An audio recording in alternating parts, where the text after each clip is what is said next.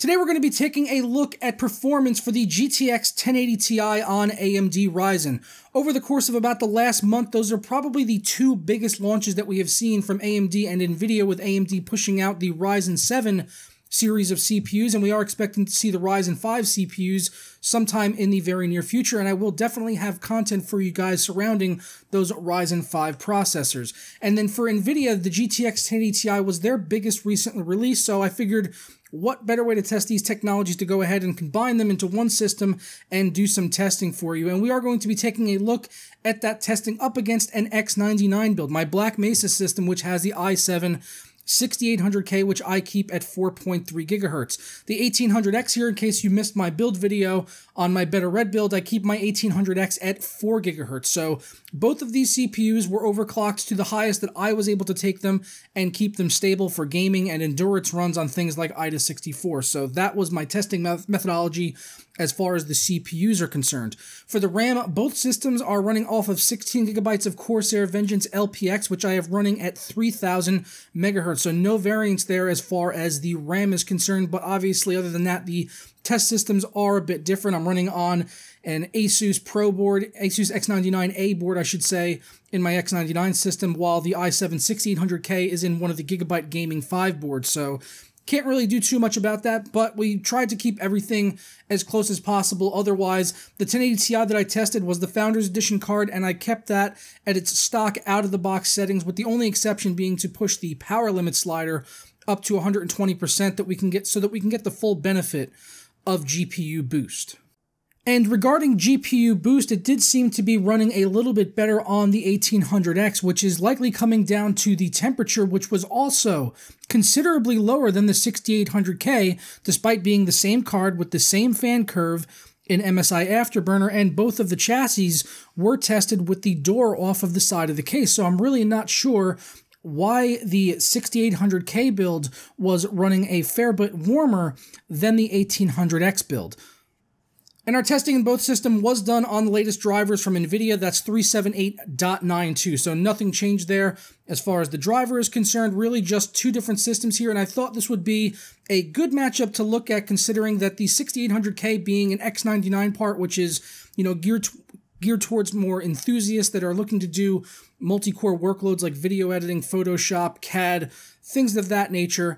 And the 1800X is also kind of geared towards that. I unfortunately don't have a 6900K. I would love to test the 6900K up against my 1800X, but I just unfortunately don't have one. And I'm not going to go out and spend $1,000 on a processor that is uh, objectively slower than the 1800X when it comes to my particular um, you know use cases, and you can get an 1800X for half the price.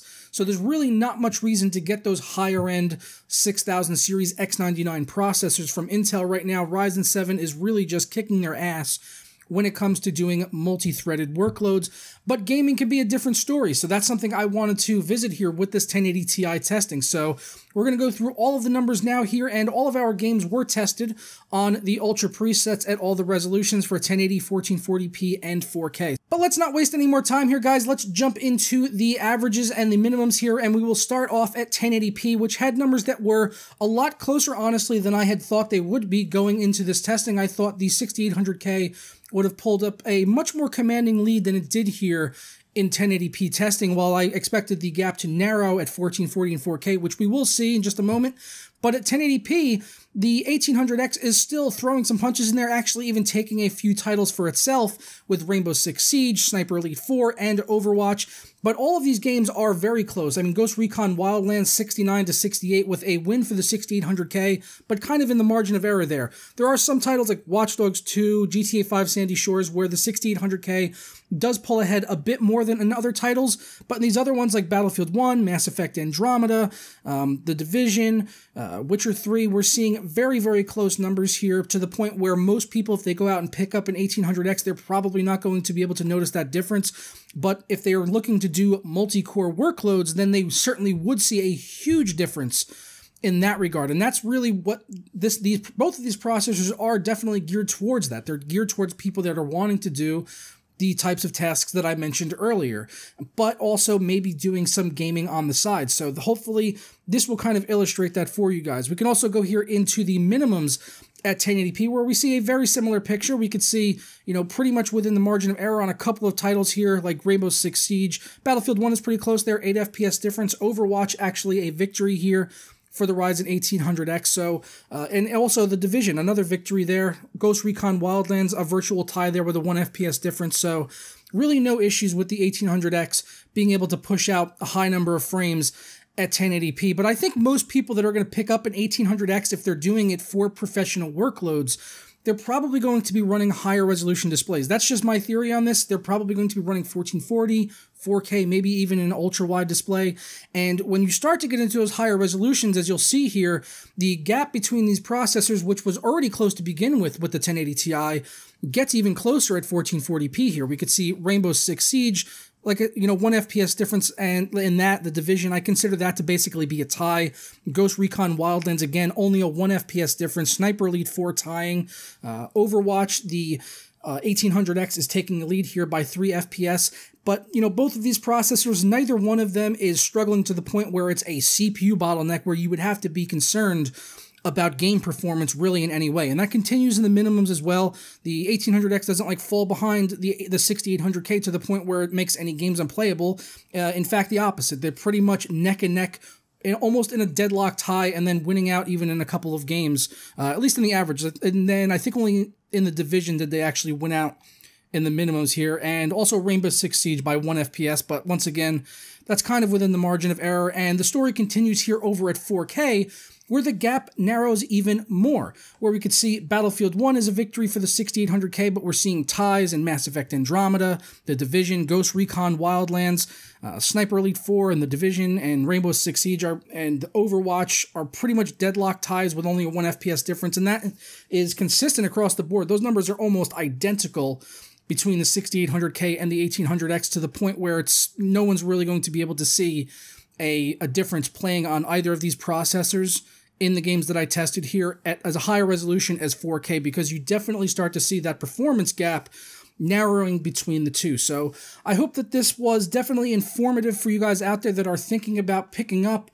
a 1080 Ti and pairing it with a Ryzen processor, which I would still really only advise people to do is if they want to do those multi-threaded workloads, video editing, streaming, CAD work, stuff along those lines. If you're looking to do that, then a Ryzen 7 is going to be a much better processor. And I hope that this shows that if you want if you're wanting to do gaming on the side as well, even you know high resolution or high refresh rate gaming paired with a GTX 1080 Ti, then you're not going to be limited to the point that some might lead you, lead you to believe.